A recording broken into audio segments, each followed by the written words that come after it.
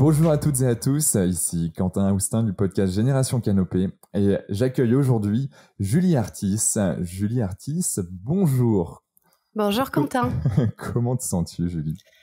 Euh, ça va. Je suis, euh, je, suis très heureuse d'être avec toi et puis euh, aussi un petit peu stressée parce que c'est, j'ai pas l'habitude de passer de l'autre côté du podcast. Et, ben c'est justement un, super, un super outil et un super exercice que l'on va faire aujourd'hui avec toi. D'autant plus que tu es une des référentes en France, j'ai envie de dire, sur la partie CHO, Chief Happiness Officer. Euh, mais pas que. Et puis, tu as, pas mal de choses justement dans, ta besace qu'on va, découvrir euh, tout au long de, bah, cette heure ou cette heure et demie qu'on va passer ensemble. Euh, qui es-tu, Julie? Alors comme ça, direct. Euh, alors qui je suis? Alors si je devais déjà me présenter euh, professionnellement, euh, je dirais que je suis euh, facilitatrice en qualité de vie au travail. Je me suis vraiment donné comme mission de, de de, semer mes graines, on va dire, sur ce sujet de la qualité de vie au travail dans, dans le monde des entreprises pour, pour tenter de créer des entreprises qui sont plus humaines. Euh, et donc, euh, j'organise pas mal de d'ateliers pour sensibiliser les collaborateurs à, à, tous les leviers qui nous permettent, qui nous permettent finalement de nous, de nous épanouir dans notre travail. Et puis, euh, comme tu l'as dit, je suis aussi très engagée dans le sujet du Chief Happiness Officer. Euh, qu'on peut traduire comme responsable expérience collaborateur, euh, qui est du coup la personne qui va euh, s'impliquer sur ce sujet de la QVT en entreprise, qui va impulser le sujet, qui va proposer des actions pour créer une dynamique autour d'un environnement de travail qui est, sain pour tous et qui est cohérent pour tous. Donc voilà, c'est un, un métier qui est en pleine émergence, quoique on en parle depuis déjà plusieurs années maintenant. mais en tout cas, ça évolue positivement. dans le contexte de crise, on a bien, bien, bien besoin de personnes qui s'occupent de notre qualité de vie au travail. Donc voilà, je suis très engagée sur ce sujet-là. Euh, et du coup, bah, comme, je le disais tout à l'heure, j'ai un podcast sur le sujet qui s'appelle Génération euh, CHE. Donc c'est vrai que j'ai, plus l'habitude de, d'interviewer que d'être interviewée. En tout cas, je suis très heureuse euh, de faire ça avec toi, Quentin. Et, et peut-être sur le sujet plus perso, je, dirais que je suis euh, je, suis quelqu'un de d'assez engagé dans tout ce que je fais. J'ai besoin de j'ai besoin d'avoir une vie euh, pleine d'objectifs. J'ai besoin de euh, me sentir vivante aussi. Euh, et le métier que je fais, c'est un métier qui me passionne et qui me permet de me sentir euh, de me sentir vivante et de contribuer ce, ce cette notion de contribution au monde, même si c'est à très petite échelle, hein, même si c'est à ma mesure, c'est quelque chose de de très très important et et, et, voilà pourquoi je, suis très impliquée sur sur ce sujet-là euh, euh, de, la qualité de vie au travail. Après, bon, voilà, pour euh, se présenter, il y a, y, a, y a, tellement de tellement de choses à dire. On pourrait dire que je suis aussi une personne assez spirituelle qui a besoin d'être connectée à plus grand que soi. Je suis je suis Capricorne. je vis à Montpellier. et puis, puis j'imagine qu'on aura le, le, le, on pourra creuser tout ça ensemble à l'issue de notre échange. Mais voilà, en gros, pour pour résumer qui je suis en quelques mots. Ok. Euh, belle présentation. Merci Julie. Euh, un peu de toi professionnellement, un peu de toi personnellement. Euh, en effet, plein de sujets très intéressants. c'est assez marrant parce que la spiritualité, mine de rien, que l'on ait des, des, des start-upers, que l'on ait des, personnes euh, euh, plus ou moins connues dans, le milieu du développement de soi, euh, ont quelque chose de très connecté en fait à, quelque chose de plus grand qu'eux. Et, ça, c'est, quelque chose qui est, je vais dire, même fondamental pour pouvoir avancer, pour pouvoir aller plus loin. voilà, on parle de de la mission dans la pyramide de Dips, c'est le pourquoi, le pour espace quoi, et, en effet, c'est qu'est-ce qui m'anime, qu'est-ce qui, qui fait sens dans ma vie, et, euh, et on ressent aussi ce sens euh, dans, dans ta vie, où, euh, où c'est ça qui, qui te fait, qui te fait vivre, qui te fait vivre vraiment.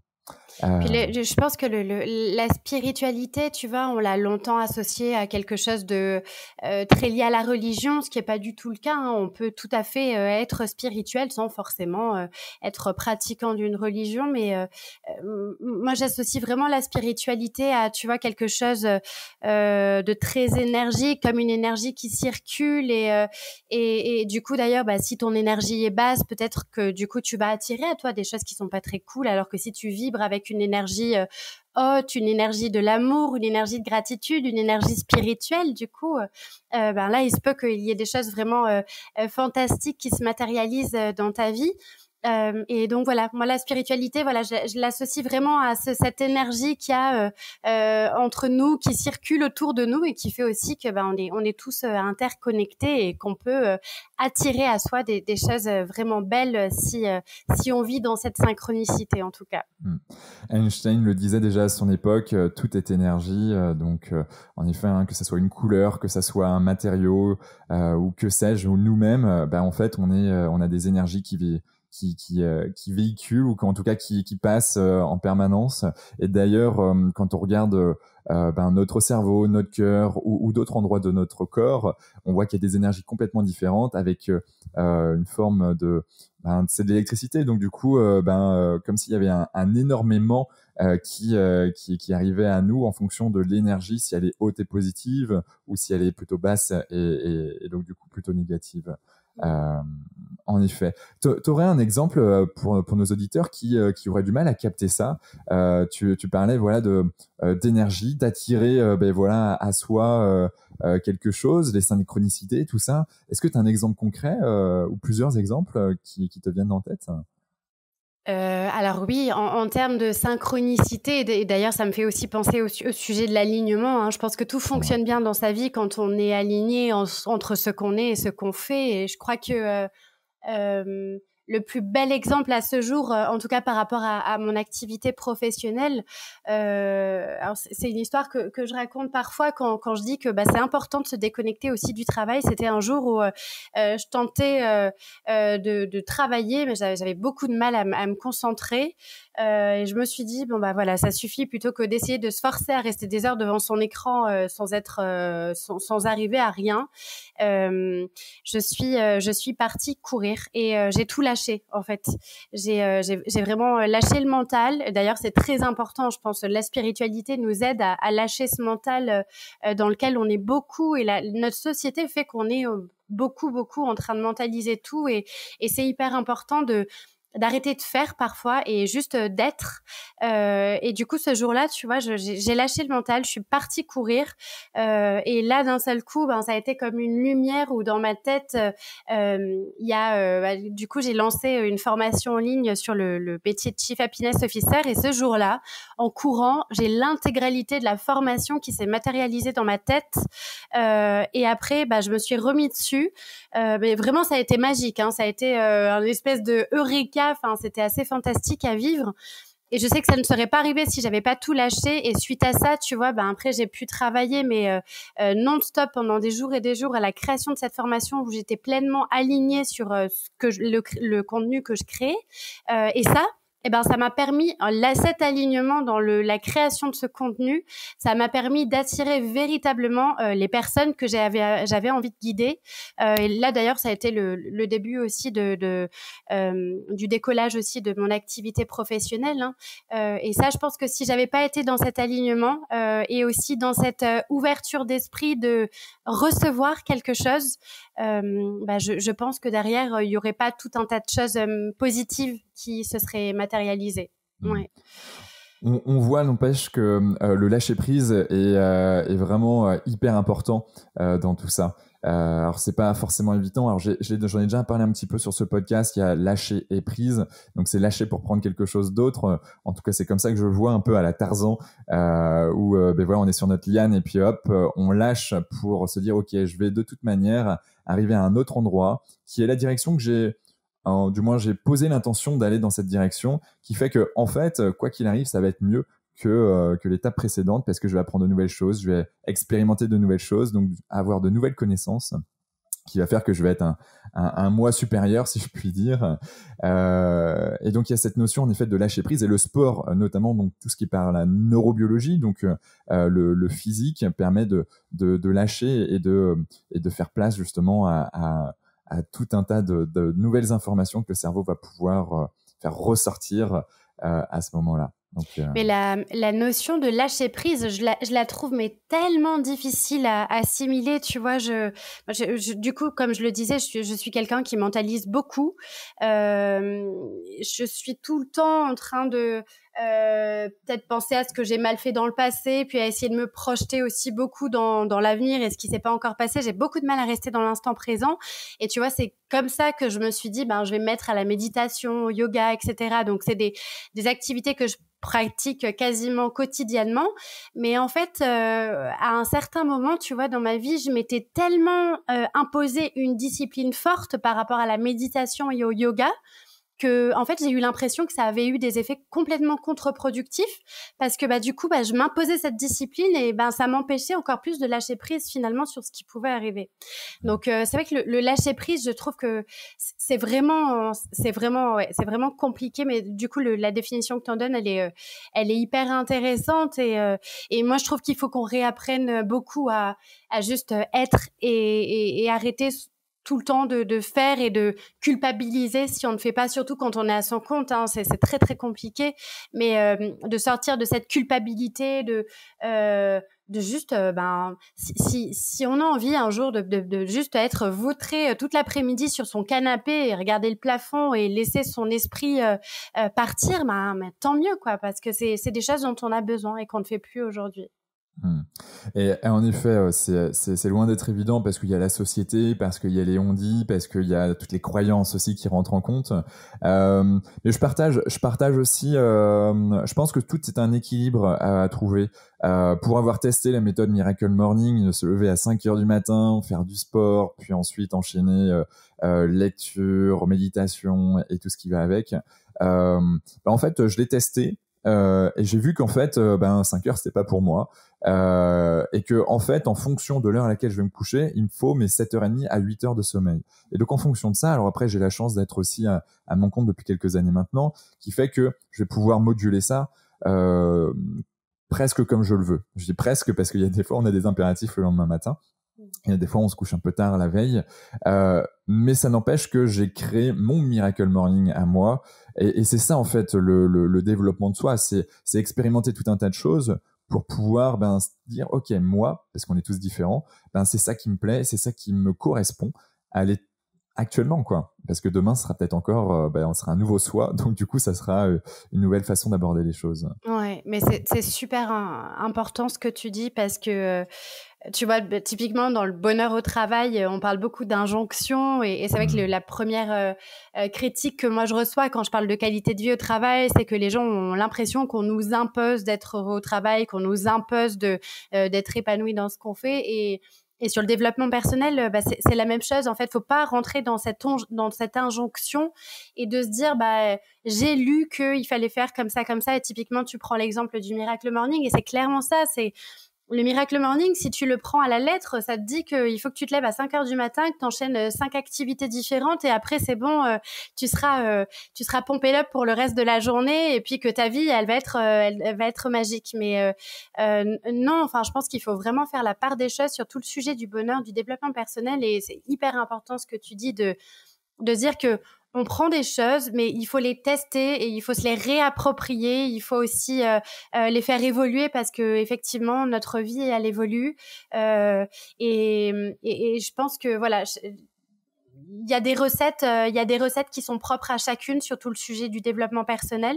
Alors oui, tester plein de choses c'est bien, mais après je pense qu'il faut vraiment se les réapproprier. Et, et tu vois, aujourd'hui, ben s'il y a des matins où j'ai pas envie de faire ma méditation, je la fais pas. Alors après, certes, il faut quand même malgré tout garder une rigueur. Hein, ça, c'est encore un autre sujet, mais il faut quand même rester euh, rigoureux sur aussi tout ce que tu mets en place. Mais euh, mais il faut aussi savoir se foutre la paix. La paix, et je pense que ça, c'est hyper euh, hyper important. Ouais. Mmh.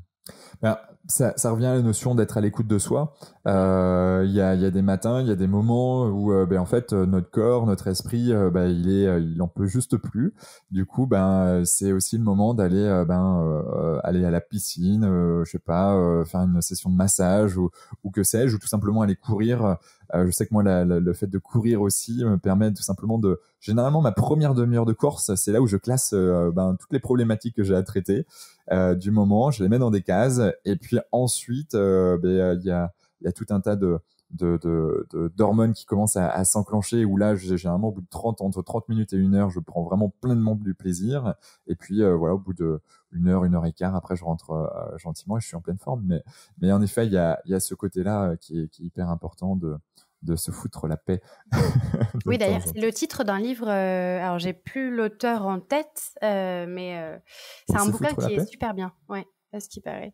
Eh bien, on va, on va chercher ça et puis on va regarder euh, et puis on mettra dans les notes du podcast euh, tout ça. Se foutre la paix.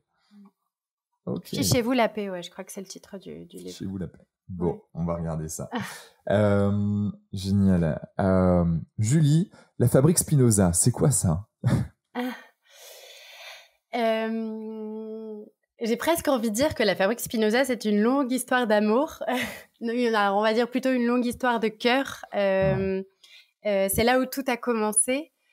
Euh, la fabrique Spinoza, alors c'est de, base c'est une association, c'est un, un, mouvement du bonheur citoyen. La fabrique en fait, elle s'est donnée pour mission de de, développer le, bonheur citoyen dans toutes les strates en fait de la société, dans tous les sujets euh, politiques et non politiques. Euh, et du coup, elle travaille au bonheur citoyen dans le euh, logement, dans l'éducation, par rapport à la nature et dans le travail aussi. Et du coup, moi, je suis pas mal impliquée sur ce sujet-là, forcément, dans la sphère professionnelle. La, la, fabrique Spinoza, elle, alors je, vous recommande vraiment de suivre toute son actualité parce qu'il y a pas mal de choses qui sont publiées. Il y a aussi une branche académique qui fait des études très très très complètes et très scientifiques et profondes et sérieuses sur plein de sujets différents. Et d'ailleurs, les dernières en date, c'était sur les espaces de travail qui étaient très intéressants. Et puis là, la, toute dernière, c'est sur la nature et comment on peut transformer notre rapport à la nature et avoir un, discours écologique plus positif pour pousser davantage les gens à l'action. Euh, et du coup, bah, tu vois, moi, la fabrique Spinoza, je l'ai connue, c'était en 2015, donc on n'en parlait pas encore beaucoup. Et il se trouve qu'à l'époque, elle lançait la toute première formation pour devenir acteur du bonheur dans son organisation. Et à l'époque, j'étais salariée. Et euh, je commençais à m'intéresser un petit peu à tous ces sujets euh, de la qualité de vie au travail. Alors moi, j'étais plutôt arrivée justement par la sphère du développement personnel, puisqu'à 20, euh, à 26 ans, donc c'était il y a, il y a 10 ans maintenant, euh, j'avais remis en question toute ma vie. Euh, et je m'étais beaucoup questionnée sur euh, le, la signification du mot bonheur et, du coup, bah, je me demandais est-ce que véritablement dans la vie que j'avais à ce moment-là, j'étais véritablement heureuse? Donc j'avais commencé à, à, lire tout un tas de choses sur sur le bonheur, le développement personnel, etc. Et puis au fur et à mesure de mon cheminement, euh, je me suis demandé si, du coup, par rapport à tout le temps qu'on passait à notre travail, on pouvait aussi parler de bonheur au travail. Euh, et c'est comme ça que voilà, j'en suis arrivée au sujet de la qualité de vie au travail. Et donc, comme je le disais, à l'époque, la, la fabrique Spinoza euh, venait tout juste de sortir une formation sur ce sujet. Alors, en 2015, 2015-2016, euh, le sujet de la qualité de vie au travail, on n'en parlait pas trop. on en parlait beaucoup à l'étranger, mais c'est vrai qu'en France, ça restait assez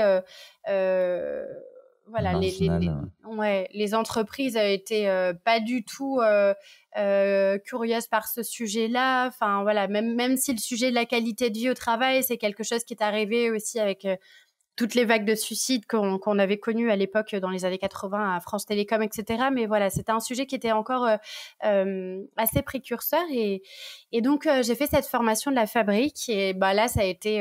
je parlais d'alignement tout à l'heure avec toi. Là, ça a été un alignement fantastique parce que pour la première fois de ma vie, je me suis dit, mais euh, en fait, euh, c'est exactement ça que j'ai envie de faire.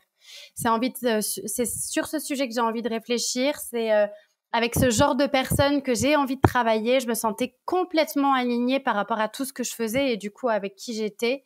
Et du coup, ben là, ça a été le l'impulsion pour euh, pour m'engager de plus en plus sur le sujet de la qualité de vie au travail et et du coup, ben de, depuis euh, la fabrique euh, Spinoza, du coup, avec qui j'ai évidemment gardé euh, euh, des liens proches. ben, c'est, je les ai véritablement dans mon cœur. Je, je suis très reconnaissante de tout ce qu'ils m'ont apporté, de tout ce qu'on continue à s'apporter, puisque aujourd'hui on, on, fait des choses ensemble. Je parlais de l'étude nature tout à l'heure et, et je, je les aide à, à je je co-contribue au podcast avec d'autres personnes. Donc voilà, c'est une, c'est une histoire de cœur euh, qui, j'espère, euh, continuera pendant encore euh, des années. Et je trouve que c'est important d'avoir ce genre d'acteur en France.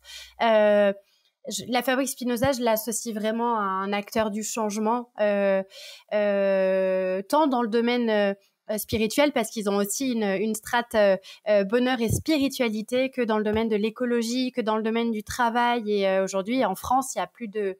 Il y a, y a, y a des, milliers de bénévoles sur ce sujet-là qui font des plus petites actions euh, dans leur ville et qui sont soutenus par la fabrique Spinoza.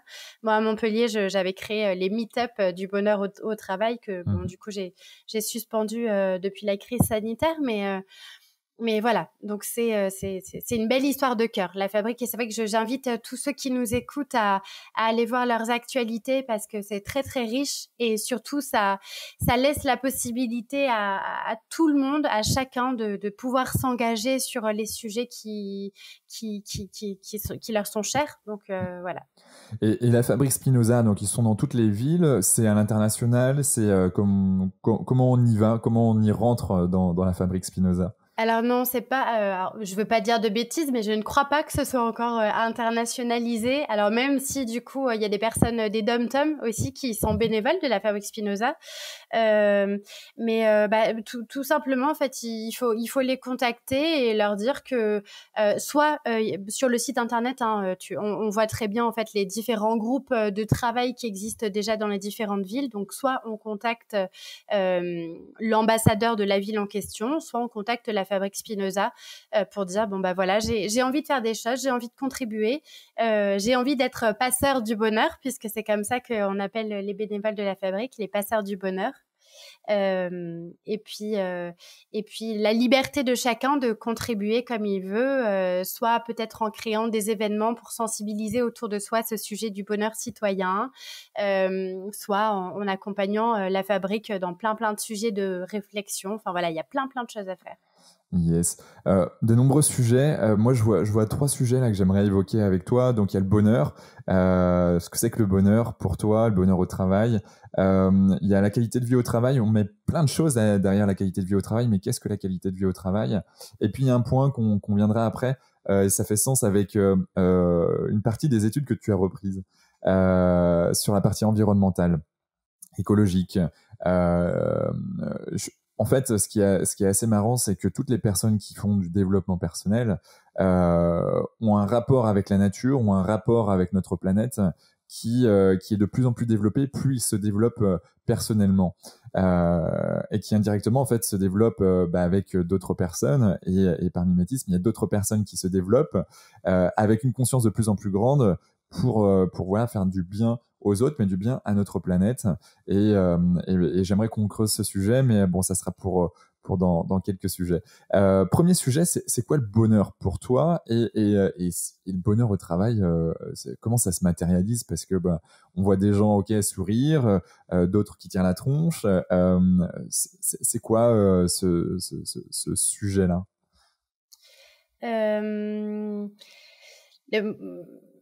Alors, comme, on parlait tout à l'heure de développement personnel et que je disais que chacun avait sa propre recette euh, pour, euh, pour être heureux dans sa vie, euh, sur le sujet de la, qualité de vie au travail, chacun détient aussi sa propre recette pour s'épanouir dans son travail. Après, c'est vrai qu'il y, y, a des choses récurrentes qui reviennent. Alors déjà, être heureux de façon générale, c'est quelque chose de très sub subjectif et qui est très inconstant aussi.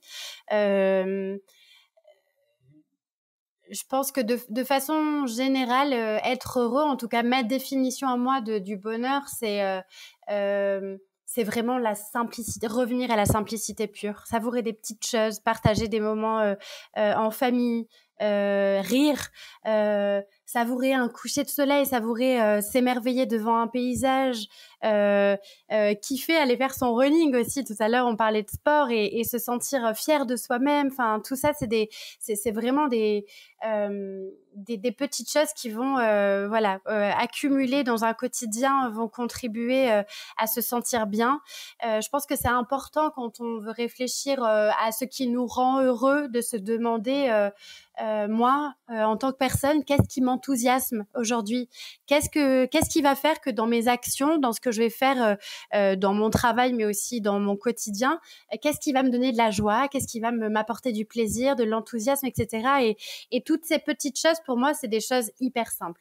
J'ai jamais été trop, j'ai jamais été trop matérialiste, tu vois. Je, la, possession, accumuler des choses, ça n'a jamais été trop mon profil euh, et, euh, et au contraire je euh, suis en train de me dire que revenir à une sobriété vraiment quelque chose de très minimaliste dans sa façon de vivre bah c'est ça le bonheur c'est se contenter des petites choses être entouré de pas grand chose dans son dans son appartement tu vois j'ai j'ai j'ai terminé récemment le livre de Pierre Rabhi sur la sobriété heureuse mmh. que je recommande énormément et euh, voilà, forcément, c'est un, un, pamphlet sur notre société consumériste et qui, qui nous montre que cette accumulation de richesses euh, et cette course à la croissance, déjà, elle est destructrice pour la planète, mais en plus, elle n'est pas bonne pour notre épanouissement. Mmh. Euh, et qu'on est dans une société où on va être... Euh, alors, je veux pas généraliser forcément, mais c'est vrai que euh, beaucoup euh, euh, sont dans l'accumulation parce qu'on essaie aussi de combler des vides, qu'on essaie de nourrir des besoins qui pourraient être nourris de façon tout autre. Donc voilà, le, pour moi le bonheur c'est ça, c'est peut-être c'est peut-être la, la, sobriété heureuse vue par Pierre Rabhi d'une vie de simplicité, une vie minimaliste où on, où on se on se contente de petites choses et, simplement voilà c'est se demander au quotidien bah, qu'est-ce qui qu'est-ce qui m'enthousiasme qu'est-ce qui me donne du plaisir et de la joie euh, et on se rend compte que bah en fait c'est c'est euh, c'est des petits riens et euh, moi j'aime j'aime j'aime beaucoup être dans la créativité tu vois je sais que d'écrire ou peut-être de faire un peu d'aquarelle dans, dans la journée bah ça va m'apporter de la joie et ça va contribuer à mon bonheur alors sur le sujet du bonheur aussi, et c'est aussi souvent ce que je dis en entreprise quand on parle de bonheur et de bonheur au travail. D'ailleurs, l'idée c'est pas de se dire que il faut être heureux 100% euh, du temps, euh, parce que bah voilà, tu, tu, le sais très bien aussi, Quentin. Le la vie est faite euh, euh de haut et de bas, c'est un ascenseur émotionnel euh, constant. et je pense que c'est plutôt D'ailleurs, la vie est, pas linéaire et, les moments de creux sont aussi des moments très importants qui vont par la suite contribuer à notre bonheur. Moi, je suis extrêmement reconnaissante euh, euh, de tous les moments euh, de déprime, les moments de doute, les moments de, de down que j'ai eu dans ma vie qui ont duré plus ou moins longtemps, parce que ça a été des moments qui m'ont permis d'évoluer réellement et qui m'ont permis de mieux me connaître, qui ont permis de toucher davantage du doigt aussi euh, mon propre bonheur.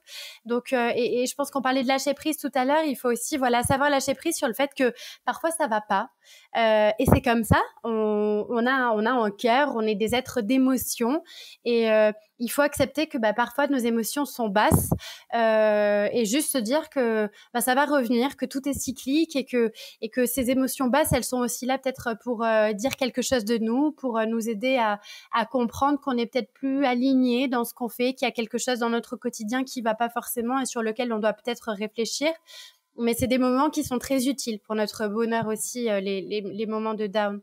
Et sur le, peut-être sur le sujet de la qualité de vie au travail, euh, moi j'aime beaucoup la définition de Tal Ben Sahar, qui est un, psychologue, euh, un, chercheur en psychologie positive qui est, qui est assez connu, qui a écrit pas mal de livres sur le bonheur. et Tal Ben tu vois, il dit que le, bonheur, c'est euh, un équilibre entre quatre choses. Ça va d'abord être le fait de ressentir euh, plus d'émotions positives que d'émotions négatives dans son quotidien au travail. Donc là encore l'idée c'est pas de jeter la pierre et de se dire euh, faut tout le temps que je ressente des émotions positives, mais c'est de se dire bah, comment dans mon quotidien au travail je vais ressentir de la joie, du plaisir dans ce que je fais, de l'enthousiasme avec le partage de avec mes collaborateurs, le sentiment d'accomplissement euh, en étant engagé dans mon travail. Enfin, tout ça, ça va nourrir nos émotions positives. Ensuite, il dit que euh, la deuxième chose, c'est être heureux au travail, c'est nourrir des relations qui sont harmonieuses avec les autres. Donc, c'est comment dans ma façon de communiquer avec les autres, je vais savoir être empathique, être euh, bienveillant, être à l'écoute aussi et être là aidant pour les autres, en soutien, etc. La troisième chose dont il parle, c'est le la notion d'utilité. Donc tout à l'heure, on évoquait euh, le, l'importance de, de, sentir qu'on contribue à quelque chose et donc avoir cette, euh, ce sentiment d'utilité pour s'épanouir dans son travail, c'est hyper important.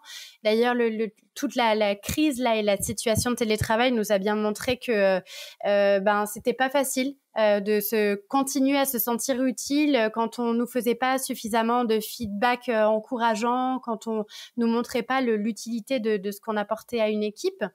Et la quatrième chose dont parle Tan c'est le sens.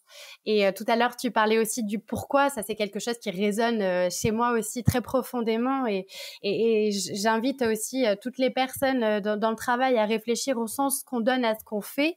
C'est hyper important et, ça va complètement métamorphoser une journée de travail. Hein. Si tu te lèves le matin en te disant que euh, euh, tu te lèves parce qu'il faut que tu ailles au travail et que euh, c'est la seule façon de payer tes factures et ben, d'arriver à avoir une vie, voilà, de, de pouvoir avoir une vie un minimum confortable, ça va être complètement différent de si tu te dis que tu te lèves et que tu as la sensation de contribuer à une aventure collective formidable, que tu sais que ta société, à sa mesure, elle contribue à changer un petit peu le monde. Enfin voilà, le sens que tu donnes à ce, à ce que tu fais, c'est hyper important. Hmm. Et donc voilà, c'est ces émotions positives, les relations, l'utilité et le sens, euh, ce sont des choses qui sont hyper importantes pour s'épanouir au travail. Et forcément, après derrière, bah, tu as plein de choses à développer, comme la confiance, la reconnaissance, enfin voilà, il y a, y a plein hmm. plein d'ingrédients qui sont nécessaires. Yes, ça, me fait penser euh, comme ça à, à, l'ikigai, mine de rien. Alors l'ikigai, on peut mettre un peu euh, tout et n'importe quoi derrière, mais l'ikigai qui est un mouvement japonais euh, qui, qui permet de, bah en fait, à travers quatre sphères, bah, trouver un peu ben, qu'est-ce qui nous anime, qu'est-ce qui fait sens pour nous, entre bah, d'un côté ce que je sais faire, d'un autre côté bah, ce qui m'anime, ce qui me plaît, euh, d'un autre côté, ben ce pourquoi je peux être payé, parce qu'en fait, ben c'est ça aussi la vie. Hein. Si je peux pas être payé, euh, ben en gros, euh, ben ça va être difficile de faire face au, quotidien, du moins dans la vie dans laquelle nous vivons. ben voilà, par exemple en France. et puis il y a cette cette phase de ou cette sphère de qu'est-ce que je en quoi je peux contribuer à un monde meilleur. Euh, et en fait, on, bah, on se rend compte qu'il y a des émotions positives derrière tout ça.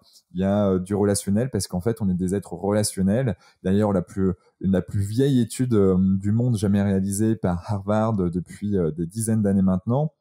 Euh, disait que et dit toujours parce qu'elle est toujours active, c'est que les personnes qui vivent plus longtemps et en meilleure santé sont les personnes avec qui ils ont de meilleures relations, donc un, un, un cercle d'amis et, de familles euh, très proches, très sains euh, derrière. Et puis, bah, faire sens, mais bien sûr, bah, euh, je contribue à un monde meilleur. je suis aligné entre ce que je sais faire, parce que c'est important aussi d'être bien et que tu, bah, tu, tu, tu, te rends compte que tu sais bien faire les choses. Ça aussi, ça, ça permet d'animer, de gagner confiance en soi euh, derrière. Et puis, puis voilà, l'utilité publique bien ou, ou bien plus largement. Ok. Euh, tu parlais aussi tout à l'heure, j'aime beaucoup la notion de euh, un coup ça va, un coup ça va moins bien, euh, voire même je suis dans le down complet. Il y a, il y a un cycle, je sais pas si tu connais le cycle de Hudson ou le modèle de Hudson, qui permet de comprendre en fait euh, quatre sphères, haute énergie positive. Faut imaginer un carré avec euh, un rond au milieu et en gros, euh, ben en fait, tout en haut à gauche, on a les hautes énergies positives, donc c'est la phase de lancement. ensuite, en haut à droite, tu as la haute énergie négative, donc la phase de déclin. Ensuite, en bas à droite, tu as la phase de marasme. Là, c'est le down total, basse énergie négative. Et puis, en bas à gauche, euh, tu as la phase de renouveau. Donc là, euh, on commence à, aller beaucoup mieux. Et là, c'est basse énergie mais positive. Et en fait, ce cycle, alors il y a une phase plateau entre euh, les hautes énergies positives et négatives tout en haut qui permet en fait, en se posant les bonnes questions, de rester à une haute énergie euh, mais il y a des fois où, bah, en fait, ça bascule. Et, euh, et c'est vrai que bah, quand on se met, par exemple, avec quelqu'un, on se dit, ok, c'est génial. Euh, bon, ben voilà, on vient de passer un été magnifique. Et puis hop, c'est comme ça qu'on commence à voir un peu les défauts de l'autre. Et puis c'est pas si beau qu'on ne le pensait. Et puis, puis après, bah, c'est soit on se pose les bonnes questions pour revenir dans une haute énergie, ou au contraire, ben hop, c'est le down total, et puis hop, je passe dans une phase de marasme, on se sépare, et puis ensuite, phase de renouveau, je commence à aller beaucoup mieux parce que je rencontre quelqu'un d'autre, parce que je, euh, je vais faire du sport, et puis hop, j'ai, et puis en fait, c'est ça pour, pour n'importe quel projet derrière. Et, euh, et j'aime beaucoup cette notion de, euh, parce qu'il y a, il y a du bien partout, en fait, dans chacune de ces sphères, et c'est des moments de réflexion qui sont hyper importantes à, à plein d'égards et à plein de niveaux. Oui, c'est ça. C'est en fait, quel que soit ce qu'on vit, l'idée c'est de se dire quelle est la pépite que je retire de ça en fait? Qu'est-ce que je peux en tirer de positif pour pour la suite? Et je pense qu'il faut garder ça en tête, même si c'est des périodes qui sont qui sont difficiles. Les périodes difficiles, elles ont toujours quelque chose à nous apprendre. Et ce, ce, schéma de, de donc là, c'est de Hudson, hein, c'est ça mmh, que, dont tu parles. Moi, on peut très facilement aussi le superposer au cycle de la femme, où mmh. euh, le cycle de la femme aussi euh, euh, vit un printemps, un été, un automne et un hiver. Et c'est hyper intéressant d'ailleurs quand on travaille sur les sujets de d'épanouissement au travail en tant que femme, de d'essayer de caler. Alors ça, c'est encore plus facile quand on a son compte pour le faire, mais d'essayer de caler son planning de travail en fonction de ce cycle-là et de se dire bah dans un mois je sais que j'aurai une semaine qui sera pleine d'énergie donc c'est là où je vais euh, organiser plein de rendez-vous je vais aller vers les autres je vais euh, je vais créer la rencontre je vais créer des contenus etc et puis euh, puis peut-être la période où je serai vraiment dans mon dans mon interne on va dire c'est la période de repli sur soi de d'introspection où on, va plus ralentir etc et et hum, tu vois le, sujet de pour revenir un petit peu à ta question de, de c'est quoi le bonheur et de façon générale et puis au travail, euh, la, première chose essentielle, c'est de, bien se connaître. Ça, c'est, enfin, moi, c'est quelque chose sur lequel je travaille énormément aujourd'hui quand euh, j'introduis le sujet de la qualité de vie au travail, c'est de prendre conscience que quel que soit l'environnement dans lequel on est, euh, si déjà on n'a pas travaillé sur soi, si déjà on n'a pas fait un premier pas de, meilleure connaissance de soi en, connaissant euh, ses besoins, les valeurs qui font sens pour nous, comment on peut les, euh, les activer au quotidien, quelles sont ses forces, comment on peut les, leur faire honneur aussi au quotidien, tout ça, c'est un travail dont on est responsable, qu'on ne peut que faire nous, euh, et qui est euh, un préalable hyper important euh, sur tout le sujet de l'épanouissement au travail et dans la vie. Hein. Donc la connaissance de soi, c'est le, premier, la première pierre, on va dire, à, tout cet édifice. Ok. merci pour ce partage, Julie. concrètement, après, comment tu fais de la qualité de vie au travail? Comment toi tu introduis euh, ça en tant que conférencière, euh, formatrice, facilitatrice euh, en entreprise alors, bah, ça, va, ça va un petit peu rejoindre ce que, ce que, je, te, ce que je te dis. Moi, mon, mon, postulat de départ, c'est de se dire que la qualité de vie au travail, c'est à la fois une responsabilité individuelle et collective. Et donc déjà, c'est de déresponsabiliser l'entreprise sur le fait qu'elle a le rôle de rendre les gens euh, épanouis euh, dans leur travail parce que c'est pas son rôle. Euh, une entreprise, elle est là pour créer des biens, des services, etc. Et in fine, effectivement, elle a le, devoir et l'obligation de créer des, un environnement de travail qui permette à chacun de bien faire son travail. Mais il y a, cette responsabilité individuelle qui est hyper importante. Et finalement, si chacun décide pas à sa mesure de faire un premier pas sur le sujet de la qualité de vie au travail et de se questionner sur euh, qu'est-ce qui me rend heureux moi dans mon travail, comment je peux faire en sorte d'avoir des relations harmonieuses avec les autres, euh, comment euh, je peux aider mon équipe à grandir, comment je peux faire grandir l'entreprise aussi dans mes actions, bah, ça fonctionnera pas. Donc cette responsabilité individuelle, elle est vraiment hyper importante. Et là-dessus, ben, tu vois, c'est ce qu'on se disait, c'est que je je forme pas mal les gens à cette connaissance de soi, où je les fais travailler par exemple sur sur leurs forces, sur les c'est quoi les, valeurs, les facteurs de motivation, c'est quoi les valeurs qui les motivent, quels sont leurs besoins, apprendre aux uns aux autres à communiquer. je travaille beaucoup sur les sujets de reconnaissance. Aujourd'hui, on sait que dans le travail, un des premiers facteurs de mal-être, bah, c'est le manque de reconnaissance, alors qu'on sait que quand même la reconnaissance, ça commence juste par savoir dire merci euh, à quelqu'un. Donc il y a, vraiment sur le sujet de la qualité de vie au travail, il faut revenir à beaucoup de choses qui sont juste du bon sens. Mais je pense que les gens ont besoin de piqûres de rappel sur ces sujets, d'apprendre à dire bonjour, d'apprendre à respecter l'autre, à le considérer, à l'apprécier, à écouter aussi.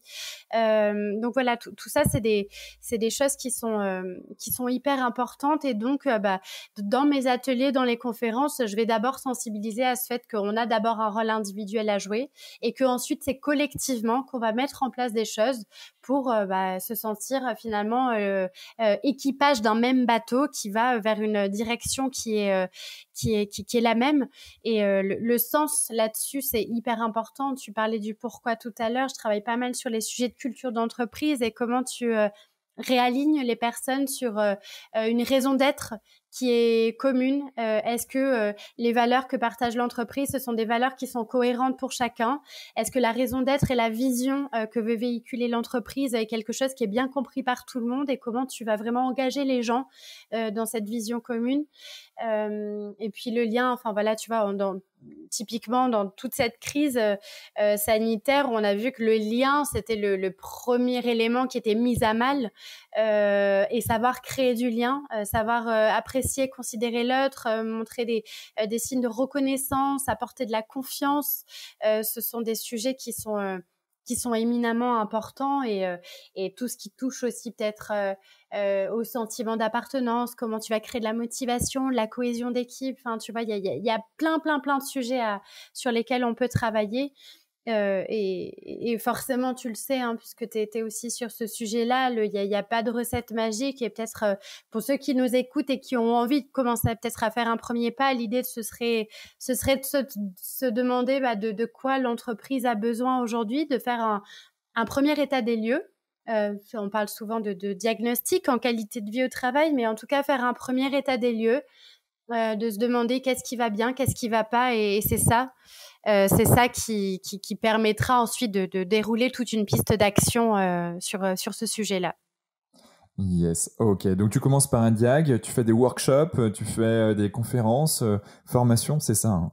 Oui, c'est ça. Ouais, oh, on fait un. Et puis là, j'ai euh, j'ai eu le plaisir euh, de d'appliquer. Alors, j'avais appris cette méthode-là euh, il y a quelques années, bah, avec la Fabrique Spinoza d'ailleurs, et puis très récemment, j'ai eu le plaisir de d'appliquer la démarche de l'appréciative inquiry dans une dans une entreprise. Alors, je sais pas si tu connais cette démarche, mais c'est la démarche appréciative, c'est une démarche qui est hyper importante parce que elle pousse les gens à changer de regard. Alors, tu sais, bah, toi en plus, t'es très branché neurosciences, donc tu expliqueras peut-être ça mieux que moi, mais on a notre cerveau qui a cette tendance à souvent se focaliser sur ce qui va pas.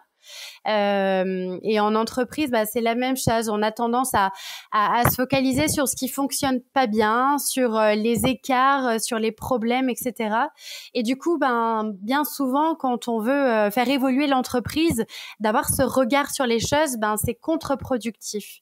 Et la démarche euh, appréciative, euh, c'est une démarche qui permet aux gens de euh, changer de regard, de faire un focus davantage sur les choses qui fonctionnent bien, sur les forces, sur les réussites, et de se dire, bah, par rapport à toutes les réussites passées qu'on a vécues, comment je peux faire en sorte de reprendre ces ingrédients-là et de les mettre dans des dans des nouvelles actions que je vise pour le futur et faire en sorte que finalement, bah, toute euh, toutes nos prochaines actions seront basées sur un focus beaucoup plus positif sur nos focus, sur nos, sur nos réussites, sur nos forces, etc.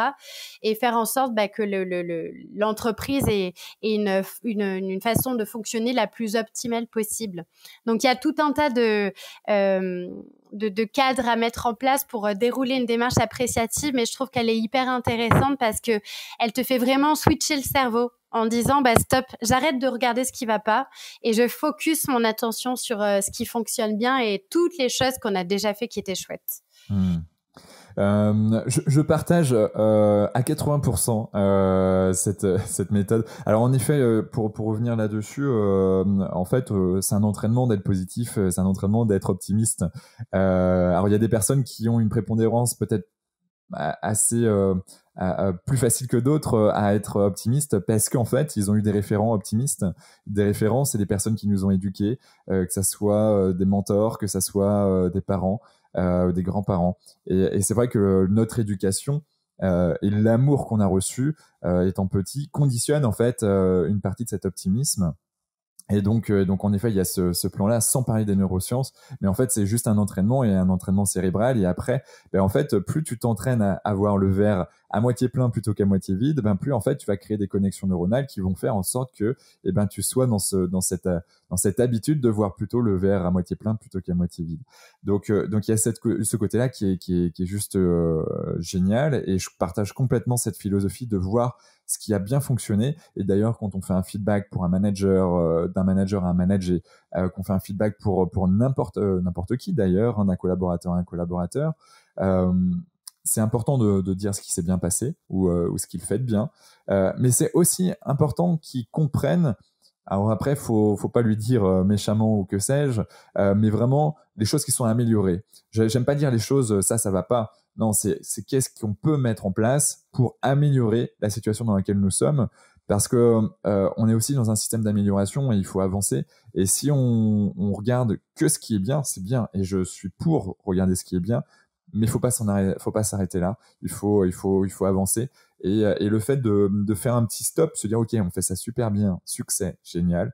Euh, on a de la dopamine, c'est trop bien. Euh, on est avec plusieurs en plus, donc bah voilà, il y a les hormones du lien qui, qui vont être présentes, c'est cool. Mais par contre, c'est qu'est-ce que je peux faire pour euh, pour enclencher une dynamique ensemble, pour aller plus loin, plus fort derrière. Donc, je pense qu'il y a, il y, il y a un juste équilibre. Alors peut-être que je connais pas je connais pas vraiment hein, cette méthode appréciative et peut-être que ça c'est compris dedans, euh, mais il y a ce regard en tout cas à ne pas sous-estimer.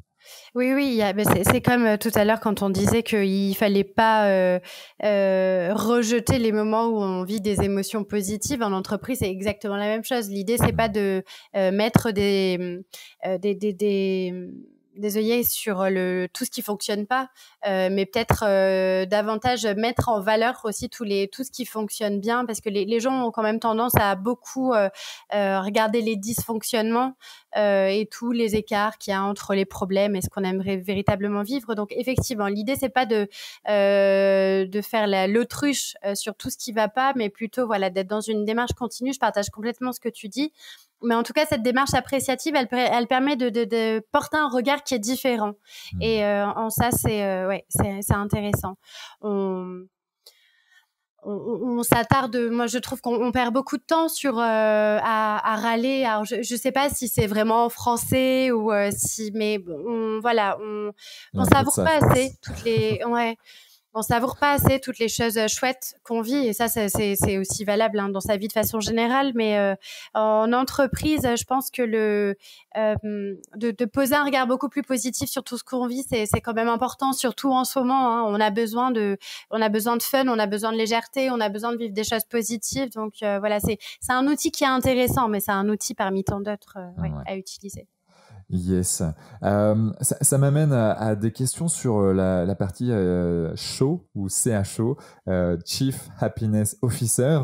Est-ce que tu peux nous en parler un peu plus de, ce métier? Pour, certains, on le voit que, que dans les startups. Pour d'autres, c'est c'est la personne qui, qui va mettre un peu de fun dans, dans l'entreprise. je sais que toi, de ton côté, tu as une vision encore différente euh, avec une importance plus importante, une importance plus importante, euh, qui, a une, qui, a, qui a plus d'importance dans, le, dans, dans l'entreprise.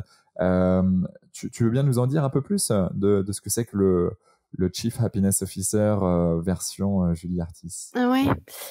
Euh, alors, le, alors c'est vrai que le, le CHO, je trouve qu'il a été euh, effectivement, il, est décrédibilisé par euh, tout, euh, tout ce que nous dépeint les médias et moi je trouve que c'est une image qui est biaisée, qui reflète pas du tout la réalité, en tout cas ma réalité de CHO.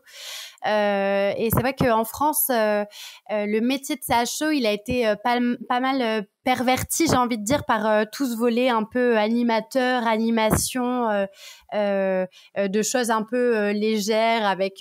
Animateur de Club Med. Quoi. Oui, c'est ça. Ben, clairement, voilà, c'est le, c'est le, c'est le géo d'entreprise et ça a complètement décrédibilisé la fonction, même si. Et d'ailleurs, Arnaud Collery, qui est aussi une référence sur ce sujet-là, le dira très bien. L'entreprise a besoin de fun et de légèreté. Euh, et, lui, tu vois, Arnaud Collery, j'adore sa posture parce qu'il assume complètement le fait que le CHO, il est aussi là pour animer du fun et de la, de la légèreté et faire de l'animation. Euh, mais en revanche, il faut aussi de la profondeur. Et ça, c'est hyper important. Euh, et du coup, bah, sur tous les sujets de profondeur, en fait, comme n'importe quel sujet en entreprise, on a besoin à un moment donné d'un porteur de projet, euh, d'un référent sur un sujet. Euh, et si euh, en qualité de vie au travail, il n'y a pas un référent sur le sujet, ben, il se peut que on essaie de mettre en place des choses, mais que dans la durée, il n'y ait pas forcément de, de durabilité dans les actions. Et donc, le, le Chief Happiness Officer, il va avoir tout son sens euh, pour justement impulser cette démarche et qu'on commencer à, à, mener un plan d'action en termes de qualité de vie au travail. Alors oui, pour euh, peut-être euh, euh, créer tout ce qui est cohésion, animation et faire vivre un petit peu la vie d'entreprise, mais pas que.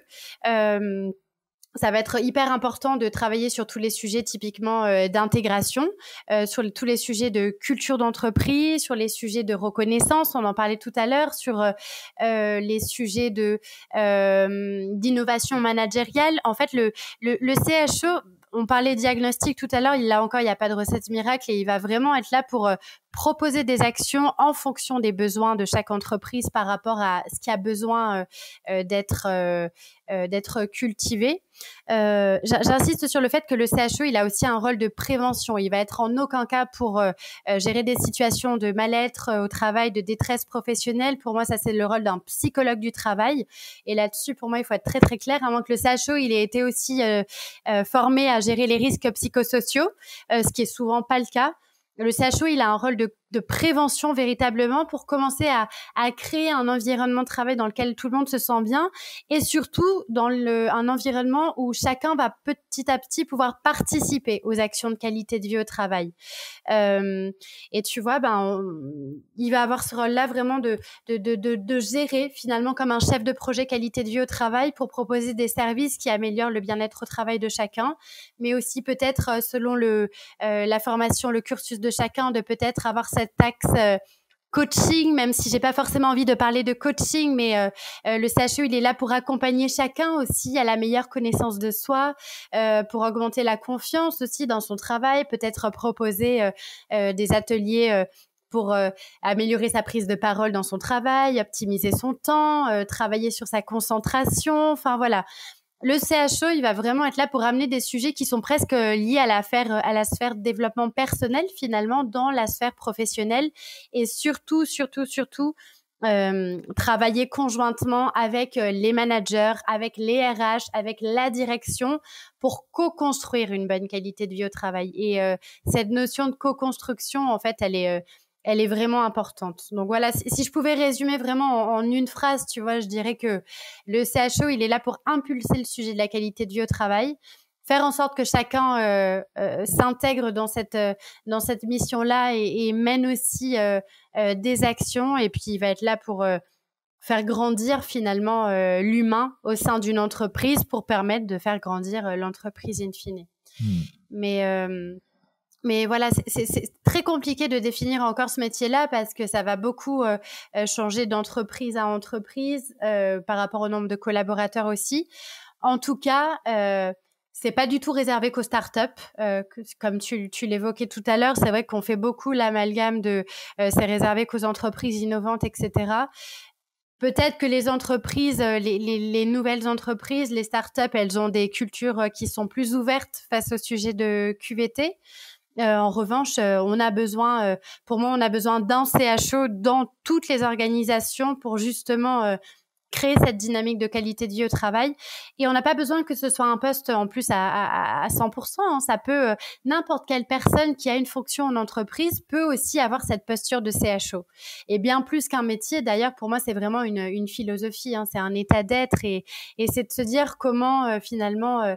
Quelle que soit ma fonction dans l'entreprise, euh, je vais semer mes graines pour euh, euh, pour accompagner les autres vers vers, plus d'épanouissement dans, son quotidien professionnel.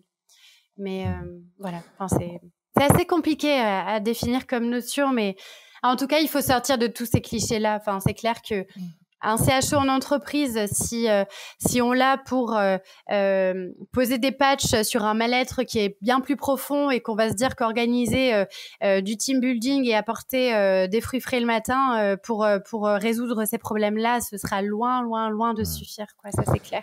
Est-ce que le, le, le, CHO aussi a pour rôle de détecter les mal-être et et, et donc du coup de pouvoir prévenir euh, la direction, dire attention, là il y a telle ou telle personne ou telle ou telle euh, équipe euh, qui euh, qui sont pas forcément dans une bienveillance ou euh, où il y a des dérapages.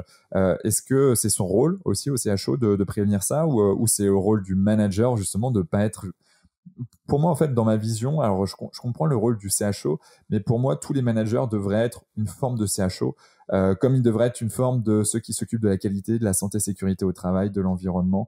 Euh, en fait, le, le, le, manager doit avoir ça en lui parce qu'en fait, il est écouté euh, de par rapport des managers euh, en temps normal s'il utilise notamment des postures de, questionnement. Donc, euh, moi, j'aime beaucoup la posture de coach aussi.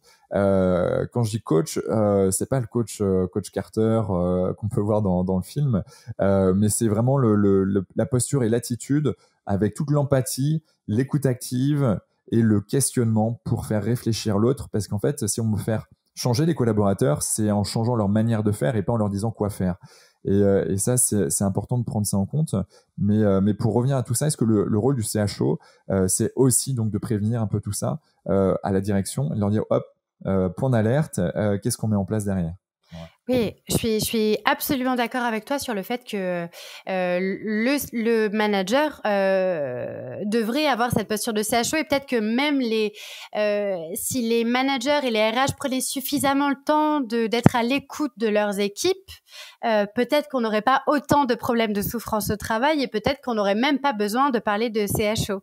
Donc mmh. euh, c'est clair que euh, le, le, le, rôle de manager de proximité, c'est hyper important et hum, Peut-être que le CHO, il va être aidant aussi sur ce sujet-là, parce que les problématiques qu'on traverse très souvent en entreprise, pour ne pas être suffisamment à l'écoute, c'est des problématiques de temps. On est débordé par nos plannings de travail euh, et on prend pas forcément le temps de mieux connaître nos équipes. Et effectivement, un bon CHO pour moi, c'est quelqu'un qui euh, euh, va savoir créer un, vrai climat de confiance avec tous les collaborateurs.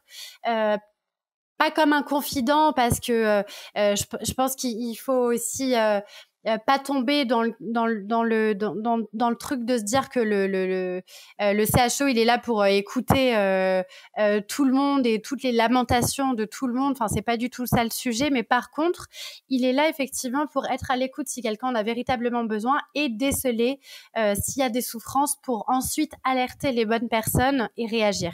Mmh. mais clairement oui il est il est en support de tout ça, il est en soutien et le, tu vois, on, parle beaucoup d'écoute active, de communication non violente euh, euh, et le CHO pour moi, il doit être euh, outillé avec ces sujets-là pour pour avoir ce rôle de prévention clairement auprès des collaborateurs. Yes. Ok. Ok, ok, je vois, je vois très bien. Tu connais le, il y a, des nouvelles formations qui, qui sont sorties sur euh, euh les premiers gestes euh, dans les, les, les, gestes, euh, les premiers gestes, euh, c'est comment on appelle ça? J'ai perdu le terme. Premiers gestes, les formations de premiers gestes quand t'as quelqu'un qui est blessé. tu vois, maintenant tu as les premiers gestes pour les personnes en, en situation de détresse psychologique. donc, donc formation mince, bon, ça veut pas sortir, c'est pas grave. Euh, mais en fait, ce qui est assez intéressant, c'est que maintenant, tu as des, des, des formations courtes d'une journée, voire deux journées, où tu vas être préparé, sensibilisé, formé à comment je réagis quand j'ai une personne qui est en détresse psychologique en face de moi. Et, c'est vrai que c'est un sujet qui est ultra tabou, principalement, principalement, beaucoup en France en tout cas. aux États-Unis, ça l'est moins, même s'il y a quand même beaucoup de cas mais c'est moins un tabou. Euh, en France, ça l'est, et, euh, et, donc je pense qu'on fait un premier pas là aussi euh, sur la partie psychologique, d'autant plus que euh, on échangeait avec Catherine Testa dans un des, derniers podcasts.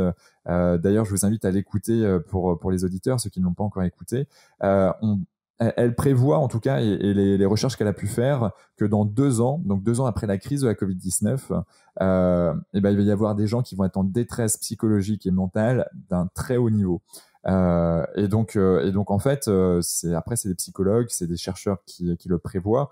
On n'est pas sûr que ça, ça arrive à 100%, mais ça n'empêche que ça peut arriver. Et si on n'est pas préparé, sensibilisé à accueillir, à, à, accompagner ces personnes-là, parce qu'on n'est pas non plus des sauveurs, mais on a accompagné, on va pouvoir aider un certain nombre de personnes là-dessus. C'est, vachement bien et je pense que si on est en entreprise de plus en plus de personnes à être sensibilisées, formées, euh, aux réactions d'une personne qui est en face de nous, qui nous dit bon ben voilà, qu'est-ce que je fais si euh, tu vois il y a, y a, quelqu'un qui me dit euh, ben j'ai des envies suicidaires. Ok, ben qu'est-ce que je fais?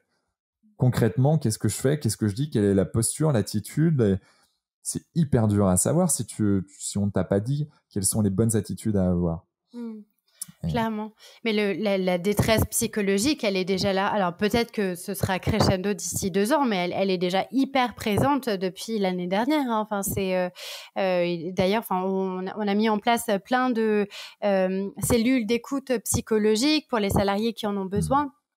Enfin, c'est, euh, euh, on est dans une souffrance au travail qui est, ouais, qui est, qui est assez compliquée et euh, oui, là-dessus, par rapport à ce que tu dis, je voulais rebondir. Il y a des initiatives assez intéressantes qui ont été euh, faites, euh, qui sont développées là par des grands groupes. Euh, on parle de CHO, mais euh, là-dessus, enfin, faut pas s'arrêter sur la terminologie. On peut appeler quelqu'un qui est en accompagnement sur le sujet de la qualité de vie au travail de plein, plein d'autres façons que le Chief Happiness Officer. Et tu vois, les grands groupes là ont développé des initiatives en, en créant un réseau de bienveilleurs.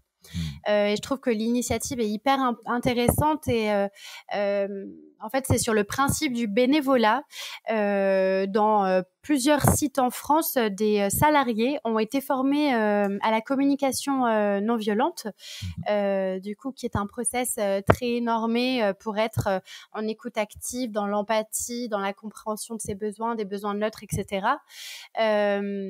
Et ils ont été formés à tous ces sujets-là et, euh, et, ils sont officiellement aujourd'hui les référents euh, qualité de vie au travail de ce réseau de bienveilleurs pour être à l'écoute de ceux qui en ont le plus besoin. Et je trouve que bah, c'est hyper intéressant de faire ça parce que déjà ça montre une vraie intention de l'entreprise d'être au plus proche de ses collaborateurs et d'être en soutien face à tout ce qu'on traverse. Et ça montre aussi qu'on est tous interconnectés, qu'on peut tous compter les uns sur les autres et de créer ce réseau de bienveilleurs. Enfin, je trouve que c'est vraiment euh, des initiatives que, qui sont hyper intéressantes et que chaque entreprise pourrait être en, mesure de faire. Ouais. Mmh. Comment on les sollicite en fait Ils ont un site internet, on les contacte comme ça? Euh, alors la bonne question, après c'est des communications qui doivent être faites en interne, euh, je pense, euh, tu vois, à travers des newsletters ou des ou peut-être des, des ouais des, des, des, cellules particulières, mais en il y, a pas mal de d'initiatives autour des bulles d'oxygène aussi qui sont créées où là tu vois c'est hyper intéressant de ritualiser tes moments en entreprise où on sait que par exemple tous les vendredis midi ça va être la bulle d'oxygène où euh, dans un temps un peu informel on va pouvoir de discuter de tout ce qu'on a envie de parler euh, que ce soit professionnel ou pas professionnel parce que les gens ont besoin de parler ils ont besoin d'être écoutés on a besoin d'échanger et mmh. euh, voilà, soit de ritualiser des moments récurrents où les gens bah, savent que tel jour on peut se confier à ce moment-là, ou peut-être euh, ouais mettre en place des euh, euh, ces, réseaux de bienvenue. Oui, je, pense que voilà ils doivent communiquer en interne pour savoir qui contacter. Mais les initiatives de ce genre sont hyper intéressantes et, et ça coûte pas grand-chose en plus à mettre en place. Ouais. Mmh. Ouais. en tout cas, on mettra les liens dans, dans, les notes du podcast vis-à-vis -vis de ce réseau de bienveilleurs. je vais aller creuser tout ça. Euh, le temps passe. Euh, J'aimerais qu'on aille sur la partie écologique. Euh, tu as mis une nouvelle corde à ton arc sur la partie écologique, biophilie. tu as même une certification, si je prends, connecté humain, design et durabilité avec design biophilique. C'est quoi le design biophilique?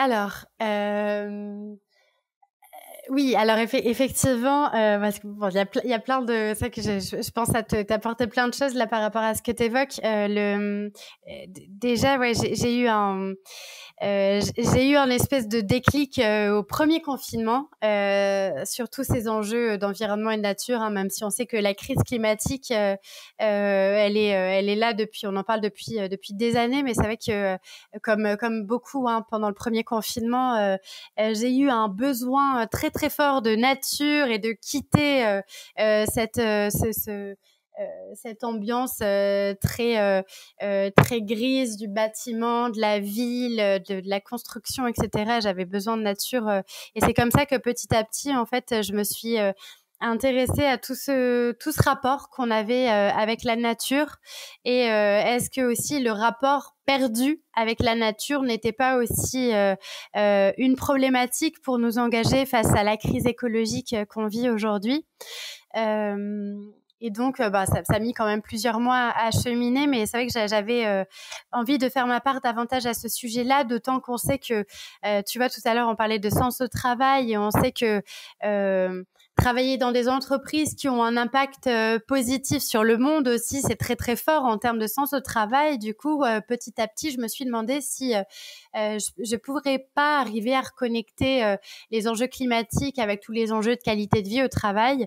Et donc, effectivement, j'ai démarré une formation sur la transition écologique et j'ai aussi fait une formation sur la biophilie.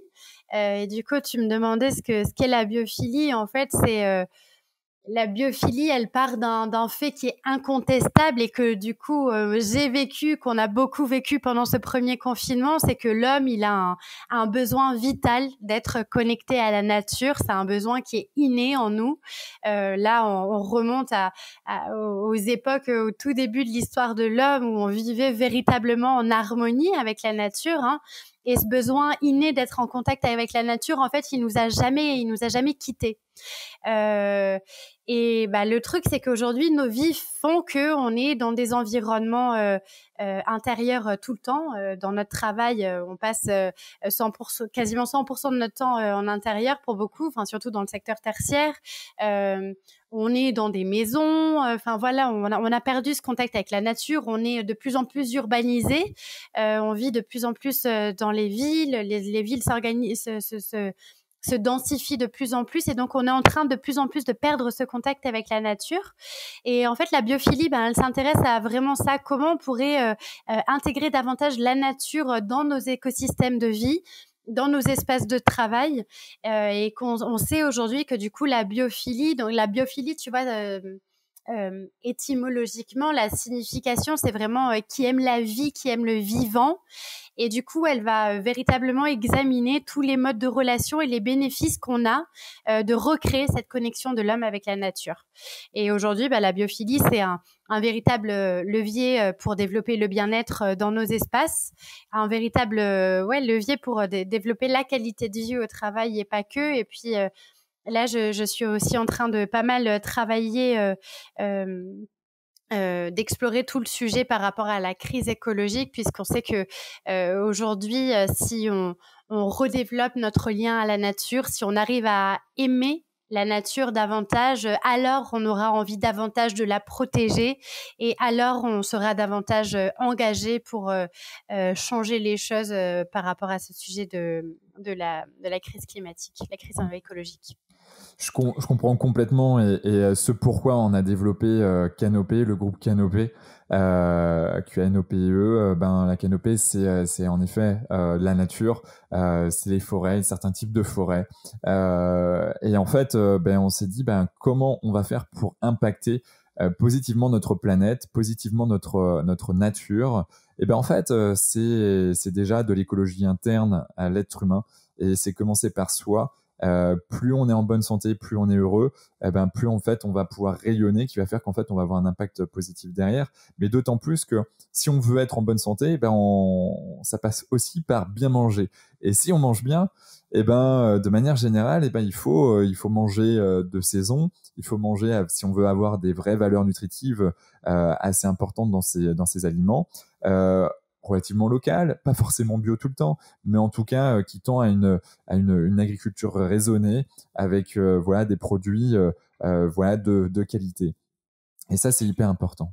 Ouais, ouais, mais c'est ce que tu dis, c'est intéressant parce que tu vois, bah, ça me rappelle un, un, podcast que j'ai écouté euh, il y a quelques jours euh, de, de, le podcast Vlan de Grégory mmh. Pouy que tu connais certainement, euh, et il a interviewé Éric Julien qui est un qui est un géographe et Éric Julien en fait il a il a fait une longue étude, il a découvert la Colombie, il a fait une longue étude avec les Indiens, alors je crois que c'était une tribu, c'était les Indiens Kogi, si je dis pas de bêtises sur le nom. et en fait, il s'est rendu compte qu'il y, y, a vraiment ce que tu dis, ce triptyque de se dire, ben, d'abord, il faut qu'on travaille le lien à soi, puis le lien aux autres et le lien à la nature. Et dans cette tribu-là, il parlait du fait que, ben, ce triptyque-là de recréer du lien à soi, aux autres et à la nature, en fait, c'est une sagesse ancestrale. Enfin, c'est toutes les toutes les tribus, toutes les les vieux peuples, en fait, ils ont toujours fonctionné comme ça.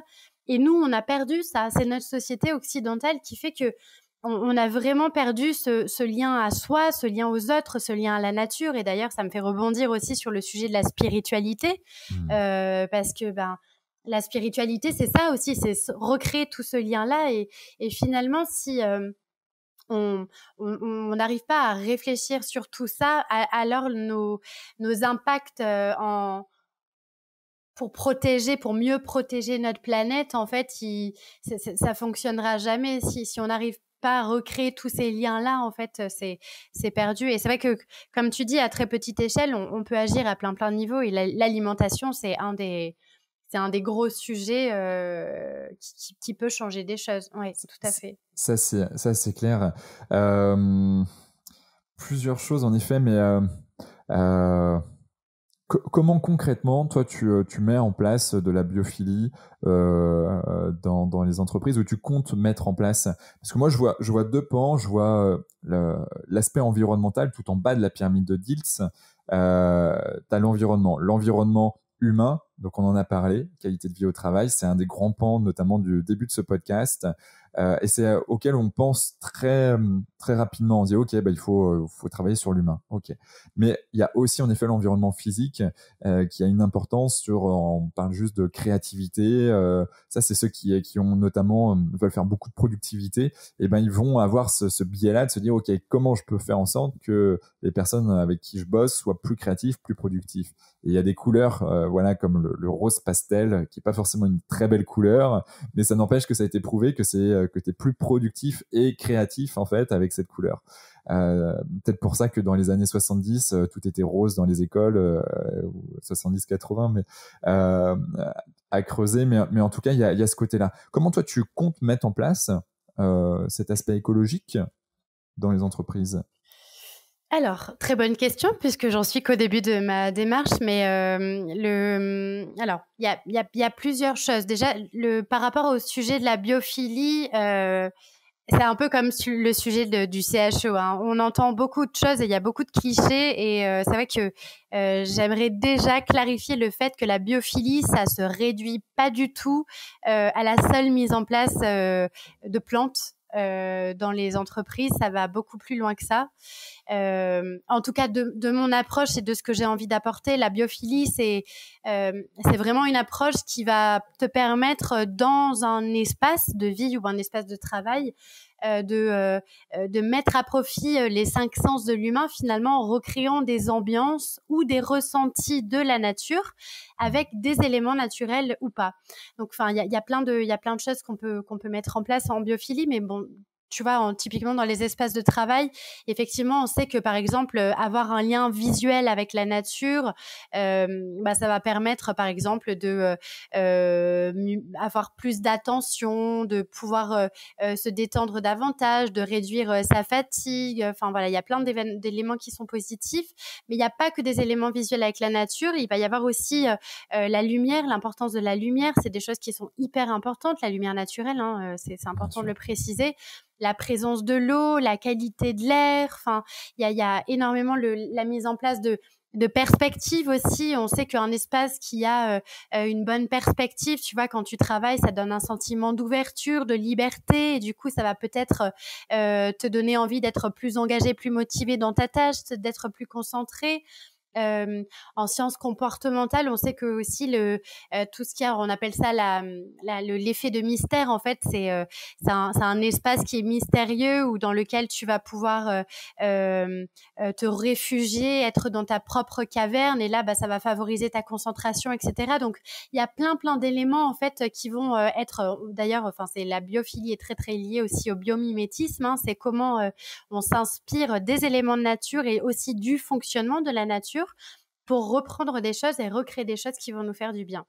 Et donc, euh, la biophilie, voilà, c'est tout ça et ça va, ça va s'articuler notamment euh, dans les environnements de travail, mais ça va aussi, euh, en tout cas moi c'est comme ça que j'ai envie de l'amener, ça va être aussi un vecteur pour sensibiliser les personnes à la cause environnementale en leur disant bon bah voilà, on n'est pas on n'est pas au-dessus du vivant. L'homme, euh, euh, on parle beaucoup de d'anthropocène. Hein. L'homme, il a, il a tendance euh, à se sentir au-dessus de la nature, au-dessus du vivant, avoir un rapport très supérieur par rapport à tout ça.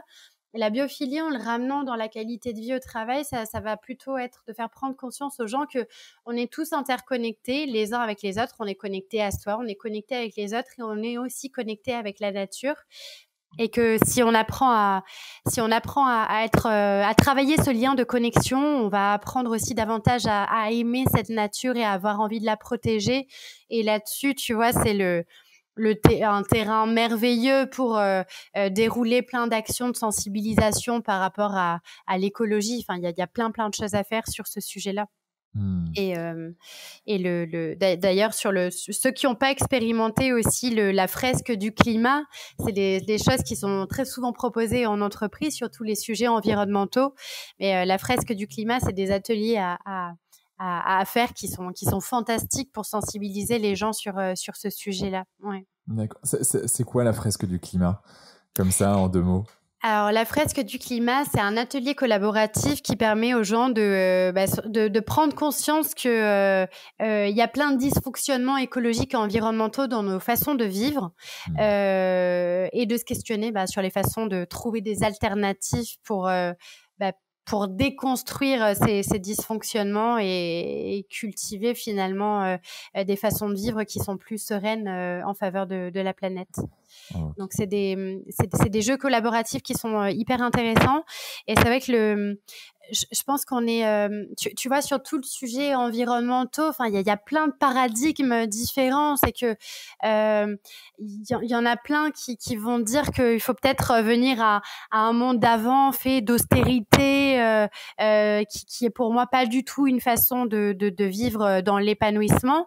Il y en a qui vont dire que peut-être pour trouver des solutions face à la crise climatique, ça va être de faire euh, exactement ce qu'on fait aujourd'hui, euh, de vivre exactement de la même façon, mais de le faire peut-être de façon plus propre euh, en mettant en mangeant peut-être euh, plus bio, en créant des bâtiments plus durables, euh, en, euh, en utilisant des voitures qui polluent moins. Mais bon, voilà, c'est pas une, une, une, façon de penser pour moi qui est durable par rapport à ce sujet de, de la crise écologique. Il y en a qui vont aussi beaucoup parler de, de décroissance hein, et, euh, et bon, finalement c'est un peu ce que je disais de venir à une austérité et ça c'est pas c'est pas très facile quand on en parle à vivre. Enfin c'est dur, c'est pas très motivant.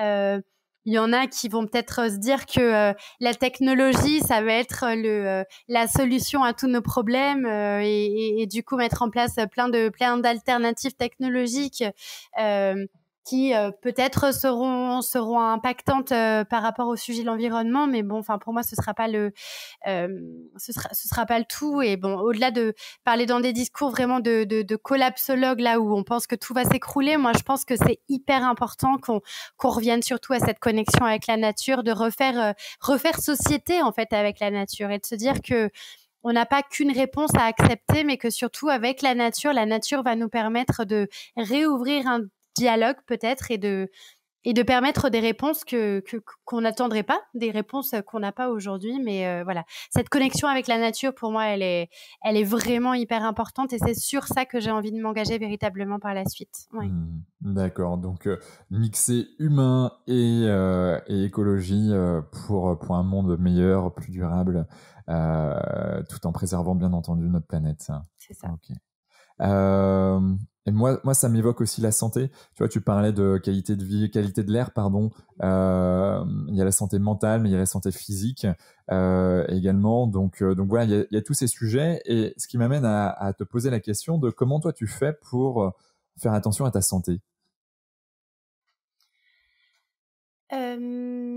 Alors déjà, je pense que je dirais que j'ai pris conscience euh, il y a quelques années que euh, notre corps, c'était quand même euh, notre, notre véhicule, notre, notre moteur, et que si on voulait qu'il avance, il fallait quand même lui donner du bon carburant. je, je dis pas, je, je, pense pas du tout être exemplaire. Par contre, c'est vrai que j'ai tendance à vraiment manger en conscience. Euh, et euh, je, sais que surtout quand on a son compte, la vitalité, l'énergie, ce sont des choses qui sont très très importantes. Euh, la santé, euh, c'est, euh, tu, tu, le disais tout à l'heure, ça passe par l'alimentation. Moi, j'ai eu une éducation depuis toute jeune qui a toujours été dans dans le bio, dans le local. Donc c'est vrai que j'ai cette sensibilité là. Je moi, je, je jette pas la pierre, mais j'ai beaucoup de mal à comprendre ceux qui kiffent se faire des gros McDo euh, euh, de façon régulière. Euh, et tant mieux si c'est un plaisir pour vous, mais enfin moi, je, je, je, je vis énormément de culpabilité vis-à-vis de mon corps quand je quand je suis dans la malbouffe. Euh, J'adore me faire euh, des bons burgers de temps en temps, mais enfin voilà, c'est euh, et c'est vrai que j'ai ce rapport à l'alimentation. J'ai besoin que ce soit sain parce que je sais que ça va être le premier vecteur d'une bonne santé. Euh, donc euh, voilà, je fais, très attention à ce que je mange. J'essaie de manger équilibré, d'autant que euh, je sais que bah, pour par rapport à moi, j'ai jamais mangé trop de viande, mais tu vois, quand on sait que l'industrie agroalimentaire c'est une des industries les plus polluantes au monde et que si les gens déjà réduisaient leur consommation de viande, bah il y aurait peut-être un peu moins d'impact fort par rapport à tout ça ben c'est pas rien. Donc euh, c'est vrai que je, je me questionne euh, beaucoup là-dessus. D'ailleurs, je, je vous recommande des euh, des documentaires là-dessus sur Netflix. Il y a Seaspiracy et Cowspiracy qui sont très j'ai presque envie de dire agressif parce que c'est vrai que ça remet en question euh, toute la chaîne alimentaire et toutes nos façons de, euh, de consommer. Mais je, je, vous les recommande vraiment si vous avez envie d'avoir un, un peu un, un, déclic sur ce sujet-là. Donc voilà, donc la santé, voilà, c'est le c'est l'alimentation. Et d'ailleurs, je sais plus qui c'est qui disait ça, c'est Socrate. Peut-être que l'alimentation est ton premier médicament. Euh, c'est ça? C'est Socrate. Euh, donc voilà, pour moi, c'est hyper important. Après, j'ai envie de te dire que euh, de bien dormir, c'est aussi très important. Mais moi, j'ai beaucoup de mal à bien dormir, donc je suis pas très exemplaire sur ce sujet-là. Et puis. Euh, et puis le, le, le, sport aussi, euh, tout ce qui est euh, ouais, tout ce qui est sport, mais yoga comme running, comme plein de choses, la méditation aussi, ça me fait beaucoup de bien. Enfin c'est des choses qui permettent de se reconnecter à soi en fait. Ça, ça va être euh, pour moi euh, vecteur de vecteur de santé, apprendre à s'écouter. Euh, enfin voilà, c'est des choses qui sont qui sont hyper importantes. Ok. merci pour ton partage. on arrive sur les dernières questions. c'est quoi la journée type du lever au coucher de Julie Artis? Alors. Là, j'ai passé, je viens de passer trois mois euh, à Paris en entreprise dans un rythme très métro boulot de dos, donc euh, je pourrais te dire que le la journée type c'était ça, c'était euh, métro, travail, on rentre et on n'a pas beaucoup de temps pour grand chose d'autre. et j'ai je, euh, je pense qu'il faut beaucoup de courage euh, à ces, personnes-là qui, c'est vrai que c'est très compliqué hein, quand on est dans un dans une routine. Enfin, la vie parisienne, honnêtement, c'est pas du tout pour moi en termes de train de vie. Euh, heureusement, j'ai la chance d'être à mon compte aujourd'hui et, et, de vivre dans une magnifique ville qui est celle de Montpellier, qui m'apporte beaucoup de sérénité en termes de qualité de vie. Et du coup, il n'y a pas de journée type. Je sais que ça va être beaucoup en fonction de mon agenda qui est jamais le même. Ça va être aussi beaucoup en fonctionnement de de de, euh, mon humeur et de ce que j'ai envie de faire euh, ben, au moment présent. Euh, mais si en tout cas il devait y avoir des choses régulières, bah, tout à l'heure je te parlais de, des petits rituels matinaux que je fais, bah, qui sont très régulièrement la méditation, le sport, l'écriture. Après, je sais que j'ai besoin chaque jour d'être dans l'échange, donc même si je suis à mon compte et qu'on travaille souvent seul, j'ai besoin de d'avoir des petits moments de temps d'échange, soit en visio avec une réunion de travail, soit soit en allant boire un café avec un ami, etc.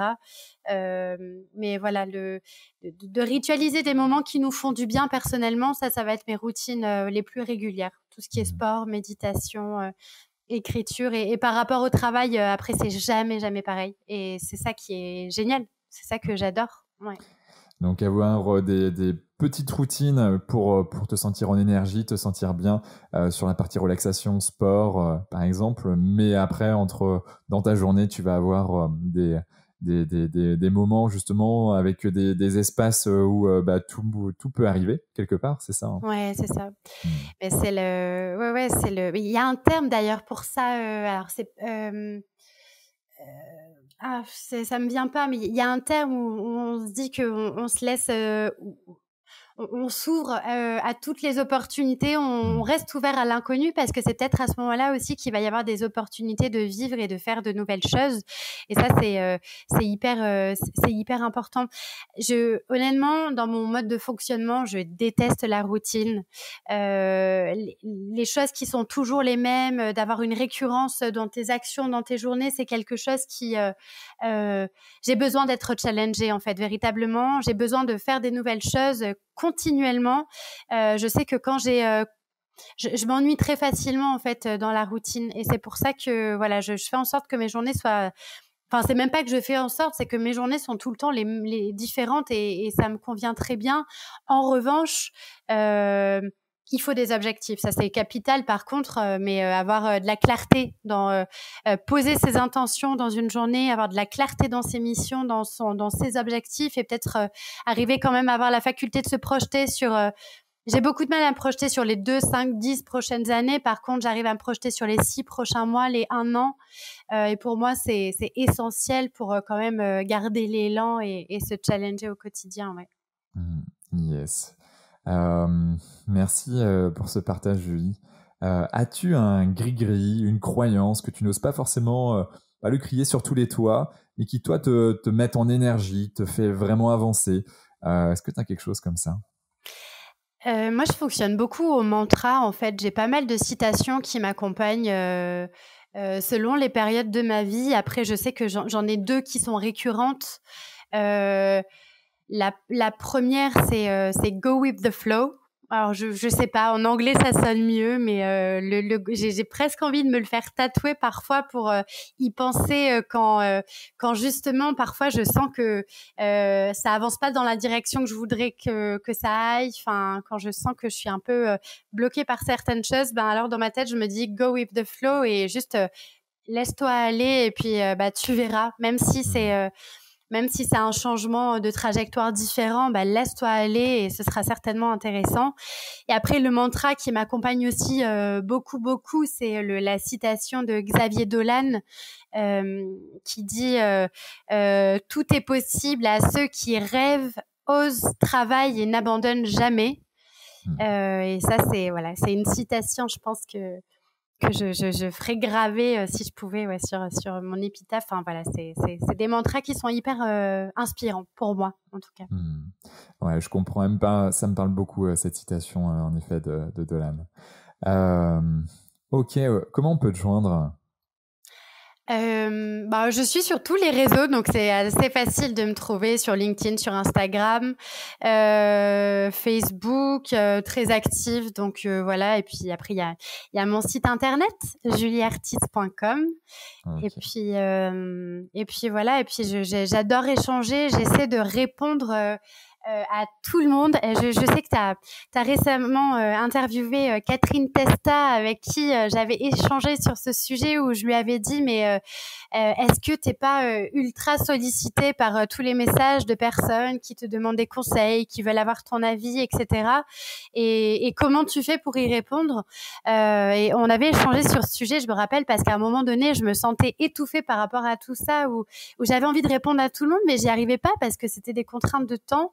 Euh, et elle m'avait dit que, bah, en fait, c'était euh, au petit bonheur la chance. Parfois, elle avait un, elle avait un créneau de vide et du coup, elle allait prendre du temps pour répondre à, une fournée de messages et ça se faisait comme ça. Et elle déculpabilisait de se dire qu'elle pouvait pas répondre à tout le monde. Et là, c'est vraiment dans le mantra Go with the flow. On est vraiment en plein là-dedans et, du coup, voilà, je, je, mets beaucoup de cœur moi à répondre à tous les messages et euh, donc voilà, n'hésitez pas à m'écrire sur LinkedIn, Instagram, etc. Ok, bah en tout cas, on mettra tous les liens dans les notes du podcast pour, euh, pour te contacter. Euh, je ne mettrai pas ton numéro de téléphone, promis. Non, pas le numéro de téléphone.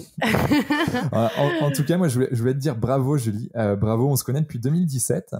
Et, et franchement, j'ai vu toute l'évolution euh, de, de, de, Julie Artis, euh, voilà, qui est, qui est, qui est partie de, ben de, du développement de soi déjà, mais euh, voilà, chez, dans une entreprise en tant que salarié où tu t'épanouissais, mais tu sentais que Dans le marketing en plus, rien à voir au début. Ouais. Marketing communication, ouais, c'est ça. Et euh, mais n'empêche que tu avais cette, cette casquette euh, CHO euh, justement qui, qui est vite arrivée. Et puis gentiment, step by step, ben tu as, développé euh, bah, une entreprise qui se développe, euh, puis ensuite euh, bah, génération CHO, puis ensuite l'écologie et, et très certainement de très très très belles choses qui vont qui vont arriver. Donc en tout cas bravo pour tout le parcours que tu as pu réaliser jusqu'à présent. Merci d'avoir d'avoir été là et comme d'habitude, j'aimerais bien que tu nous dises un Ouais, un, dernier mot pour nos auditeurs. Qu'est-ce que tu aimerais euh, qu'ils retiennent euh, de toi, de notre échange? Alors déjà, je, te dis aussi un grand, grand merci Quentin parce qu'effectivement, on se connaît depuis un, petit moment et, et je, te vois aussi évoluer et je te dis un grand bravo pour ce podcast parce que tu interviews des gens euh, qui sont euh, euh, qui sont géniaux. Alors je, je parle pas du tout de moi, mais tous les épisodes que j'ai, j'ai, voilà. euh, franchement, t'es bravo, c'est un super podcast et je sais que tu nous réserves encore plein d'autres interviews qui seront géniaux. Donc bravo à toi. Et euh, pour terminer, non, simplement, je dirais aux gens de, euh, de se demander, là, aujourd'hui, qu'est-ce qu'ils peuvent faire qui, qui, qui, qui, peut les enthousiasmer dans leur journée et euh, déjà pour eux et qu'est-ce qui peut aussi euh, impacter positivement peut-être leur entourage et puis euh, leur environnement naturel. Voilà. Quel est l'impact positif que, que, chacun peut avoir à sa mesure? C'est c'est important de se le demander au quotidien. Donc voilà, j'invite chacun à se questionner là-dessus. Super. Merci à Julie. Merci beaucoup Quentin. Ciao ciao.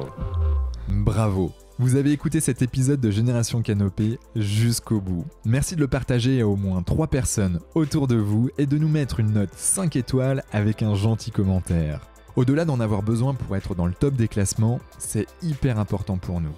Pourquoi? Parce que ça nous permet de toucher un maximum de personnes qui méritent d'être plus heureuses, en meilleure santé et plus performantes. D'autant plus que plus nous aurons d'abonnés, plus nous pourrons attirer des personnalités exceptionnelles avec tout ce qu'elles ont à nous apporter. Et si vous souhaitez passer un cap dans votre vie, pour être plus heureux, améliorer significativement votre niveau de santé et ou devenir plus performant, toute l'équipe de Canopy est prête à vous bichonner comme il se doit. Vous n'avez qu'une seule chose à faire. Créez votre profil sur canopy.com, Q A N O P E E.com si ce n'est pas déjà fait et faire votre check-up bien-être. Du contenu gratuit et des praticiens vous y attendent. C'était Quentin Aoustin et je vous embrasse. Ciao ciao